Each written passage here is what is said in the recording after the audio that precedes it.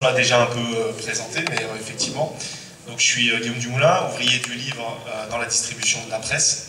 et on a vécu effectivement un conflit assez dur il y a deux ans, puisque le gouvernement Macron, qui s'est attaqué à peu près à tous les services, soit publics ou même quand ils étaient privés, mais qui rendaient une espèce de mission de service public, a modifié la loi Bichet, qui, dépend, qui descend aussi du Conseil national de la résistance. Et la conséquence a été euh, la liquidation du groupe Prestalis qui avait été euh, créé à, cette époque. Donc, effectivement une lutte euh, qui a duré quand même plusieurs mois pour aboutir à la création d'une SIC, donc une société coopérative d'intérêt collectif, où effectivement les salariés sont associés et où ont pouvoir de décision. Et ça fait d'ailleurs un relais avec les, les propositions de Fabien Roussel, puisque notamment, c'est de renforcer le pouvoir d'intervention des salariés, puisque c'est les salariés qui créent la richesse et donc c'est euh, normal qu'ils puissent, enfin ça devrait être en tout cas normal, euh, qu'ils puissent justement décider euh, de qu'est-ce qu'on fait de cet argent créé, puisque la richesse elle est créée que par le, par le travail. Donc c'est une des, propositions du Parti communiste, et notamment de Fabien Roussel, d'aller donner plus de moyens, effectivement, en représentant, on l'a vu dans, le quiz, en représentant des, salariés, et la question c'est effectivement comment se réapproprie toutes ces questions sur la création de richesse. Il y a aussi la question des salaires. Actuellement, euh, c'est vraiment une question qui, prédomine. On est en plus en période de, NAO dans, les entreprises. Et il y a beaucoup d'attentes euh, chez, les, chez les salariés. Et on a notamment beaucoup de luttes euh, sur le territoire, puisque je suis, j'étais, je suis toujours militant de l'union locale, j'ai été secrétaire. Mais sur le territoire de Vénitieux Saint-Fond-Faisin, on a eu de nombreuses luttes. on retrouve des salariés qui se mettent en grève justement pour aller arracher au patronat euh, des augmentations de salaire, puisque euh, alors que les années 2020 et 2021 nous avaient été promises comme mauvaises, en réalité il n'y a jamais eu autant de, versements, de dividendes dans les grandes entreprises. Euh, alors les petites souffrent un peu, mais c'est normal parce qu'elles sont victimes des donneurs d'ordre qui gardent tout. donc on a Et tout ça, il faut le rééquilibrer. Et donc ça passe par déjà une augmentation générale des salaires, puisque on l'a vu aussi dans le quiz, si on défend les 32 heures payées 35, c'est parce que avant les 35 heures actuelles, c'était payé 39. Sauf que le patronat l'a pas digéré, et on a un gel des salaires depuis euh, cette période, d'un patronat revanchard qui a tout fait pour récupérer euh, cette différence sur le dos des travailleurs. Et aujourd'hui, on pourrait considérer qu'on est à 35 heures payé 35 en réalité, euh, puisque les augmentations de salaire n'ont pas suivi le coût de l'inflation, et ce qu'on connaissait dans le temps, à l'échelle mobile des salaires Aujourd'hui, on n'est plus du tout dans cette... il faut, il faut se battre à chaque fois pour arracher euh, la moindre augmentation. Donc le, SMIC à 1923 euh, euros brut, euh, bah, c'est juste pour en réalité avoir un, minimum de salaire qui permette de vivre.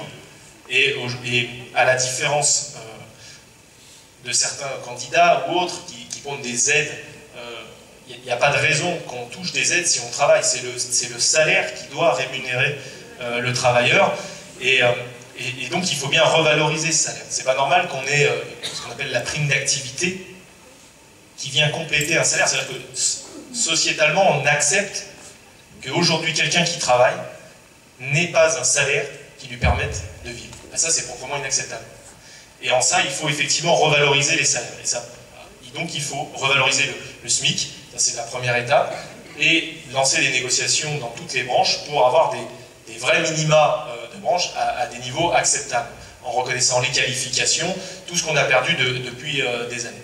Et ça, aujourd'hui, dans les entreprises, on a des salariés qui se battent pour aller chercher, mais très difficilement, ils obtiennent 3-4% après des fois des semaines de, grève. Et donc, il faut effectivement essayer d'élargir le mouvement, mais il faut aussi un relais politique, euh, et c'est là où la candidature de Fabien Roussel est intéressante, c'est de parler effectivement d'une revalorisation de salaire avec une réduction du temps de travail.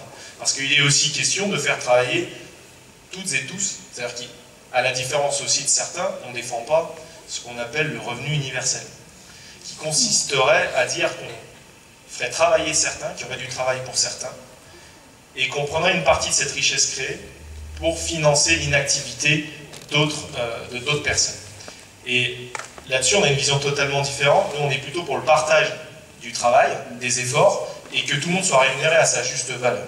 Voilà, ça c'est, euh, aussi ce qui dénote beaucoup dans la candidature, de Fabien Roussel, c'est cet état d'esprit, revaloriser le travail, repartir, redonner espoir. On peut tous travailler, euh, mais pour ça, il faut effectivement réduire le temps de travail, augmenter les salaires, relancer la consommation. Ça, c'est les, principaux points. Et tout ça aussi, pour y arriver, je l'ai dit, sur les redonner les moyens aux représentants du personnel euh, de pouvoir porter la voix des salariés dans les décisions de l'entreprise, mais pas que en donnant un avis comme c'est le cas aujourd'hui. Euh, l'abrogation de, toutes les lois El Khomri, ordonnances Macron et compagnie, sont venus détricoter tous les droits qui n'étaient quand même pas déjà mirobolants avant, mais le peu qu'on avait ont été cassés un CSE qui a moins de pouvoir d'intervention que, n'avait un CE, qui était déjà quand même limité. On ne fait plus prendre des avis. Des avis. Un avis, ben, le patron il en tient compte ou il n'en tient pas. Et ça, c'est plus possible. Il faut redonner euh, aux salariés les moyens de décider. Euh, et moi, je le vis euh, aujourd'hui concrètement dans, ma SIC, avec mes camarades, c'est qu'on peut décider ensemble de ce qu'on fait. Alors, on est dans une situation... J'ai noté que Serge était presque pessimiste en, disant que ça allait pour le moment, mais il n'a pas tort, puisque effectivement, la particularité, c'est qu'on assure une espèce de mission de service public, et euh, ce qui est un peu dégueulasse, c'est de la laisser seule à des ouvriers de gérer cette situation. C'est pour ça qu'on a choisi une SIC, qui n'est pas une SCOP, d'allier les pouvoirs publics. Et d'ailleurs, on voit aussi la différence quand on a une ville communiste comme Vénissieux, c'est qu'aujourd'hui, Vénissieux est au capital de cette société et a rendu possible la création aussi de cette SIC. Donc on voit bien que quand le pouvoir politique s'allie à la détermination des salariés, on arrive quand même à faire des choses, et j'espère qu'avec la, la, candidature de Fabien Roussel, et on peut espérer euh, une victoire, euh, en tout cas reconstruire un parti communiste pour aller demain vers une victoire, eh ben, on pourra recréer toutes ces situations partout euh, ailleurs. Voilà, merci.